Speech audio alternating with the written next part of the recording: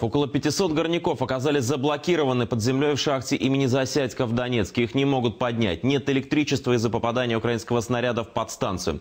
Между тем, по уточненным данным, за последние сутки на Донбассе погибли 4 человека. Среди них трехлетняя девочка. Еще 15 мирных жителей ранены. Об этом сообщает в Минобороны ДНР. Силовики ведут огонь из ближайших к Донецку населенных пунктов, в том числе со стороны Песок и Авдеевки. В оборонном ведомстве Донбасса обвинили Киев в использовании жителей в качестве живого щита щита. Бойцы Нацгвардии не выпускают людей из домов и фактически прикрываются ими, чтобы избежать ответной реакции ополченцев.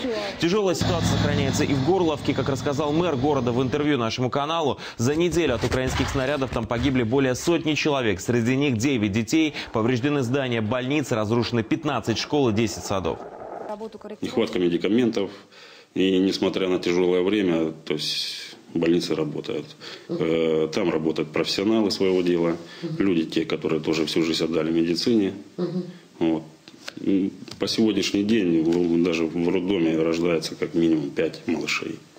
И вновь помощь для жителей Юго-Востока придет из России. Сегодня стало известно, что МЧС подготовила 12-й конвой для жителей Донецкой и Луганской областей. Грузовики привезут все самое необходимое – продукты, медикаменты, генераторы, стройматериалы. Уже завтра гуманитарная колонна отправится из подмосковного Ногинска в Ростовскую область.